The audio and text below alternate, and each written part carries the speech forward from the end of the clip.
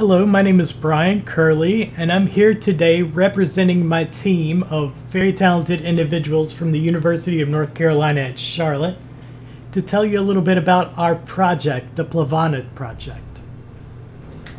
In this paper, we describe an ongoing work in which technology, history, and dance studies intersperse and inform one another in an integral capacity. The pedagogical process of a 2,000 year old traditional Indian dance practice, Odissi, is taken as our case study to develop an immersive virtual reality dance game.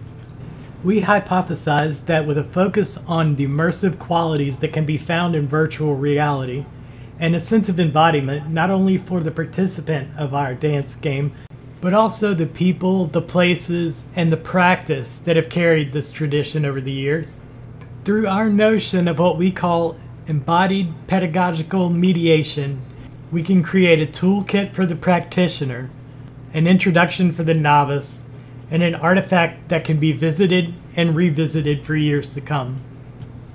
Our focus on immersion and sense of embodiment come from Odissi itself, where as a tradition, it also has an innate reliance on immersion, as seen in the fact that, as with many South Asian pedagogical practices, the students live with the teacher, and the process of learning happens both inside and outside of the classroom.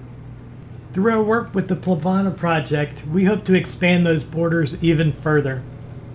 In addition, as informed by dance instruction in general, we're focusing less on user interfacing and more on autonomous participation.